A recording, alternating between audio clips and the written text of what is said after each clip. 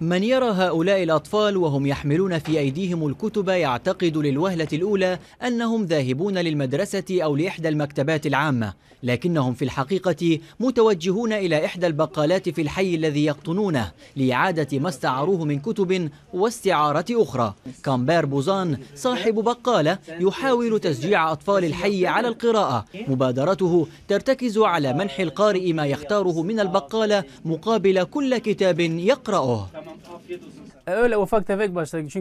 أتتني الفكرة حين كان يأتي إلي بعض الأطفال الذين لا يملكون المال لشراء ما يرغبون به فكنت أعطيهم من دون مقابل ولكي لا أشعرهم بالحرج كنت أطلب منهم مقابل ذلك أن يقرأوا كتابا وكان لدي في البداية أربعة كتب فقط لابني بعد ذلك بدأت حاجتي للكتب تزداد مع ازدياد الأطفال الراغبين بالاستعارة.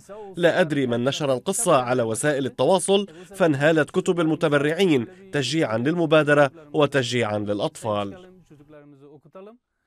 في بقالته الصغيرة وبين المواد الغذائية والأطعمة خصص كامبير بعض الرفوف للكتب التي بات بإمكان أي طفل في الحي استعارتها فتهافت الكثير من الأطفال على بقالته لاستعارة الكتب وأخذ المكافأة. لكن بعد أن يشرحوا له أهم ما وجدوه في الكتب التي قرأوها. أما الأطفال الذين لا يستطيعون القراءة والكتابة فخصص لهم كتبا مصورة للتعليم من خلال الرسم بالألوان. فكرة نالت استحسان الأطفال وأسرهم.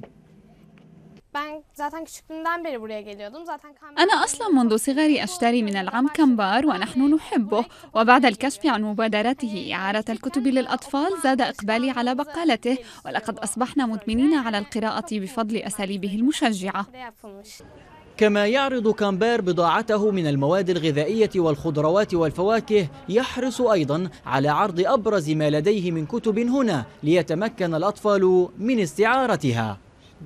القراءة تساهم في نهضة الشعوب وكامبار يحاول تجسيد ذلك من خلال مبادرته في بقالته المتواضعة.